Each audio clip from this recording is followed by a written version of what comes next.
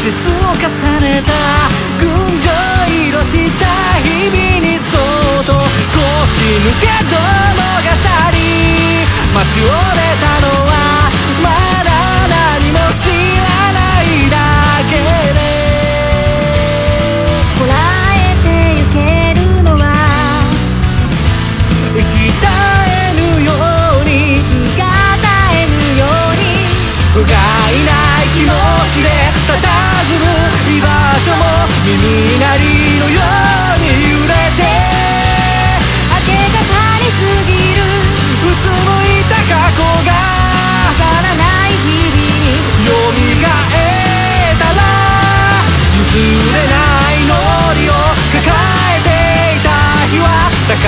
りのよ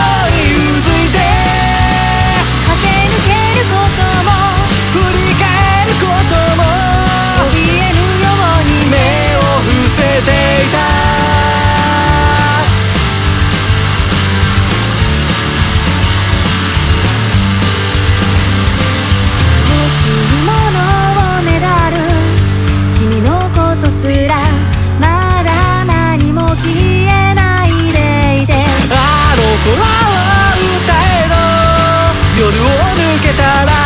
気がめいる日が続いていく。君に唱えてるのは見失わぬように道にそれぬように掲げた言葉を貫く誠意が諭され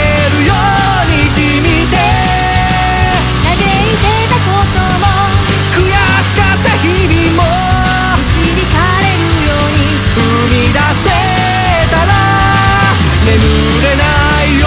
に抱いていたのは光の見えない不安で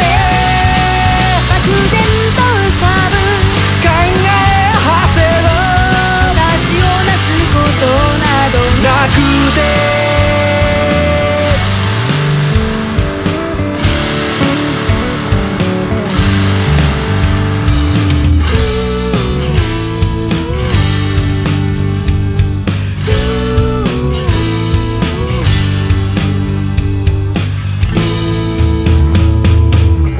りの見えない今のこの道もいつしか明かりが灯るように。言えなかったことも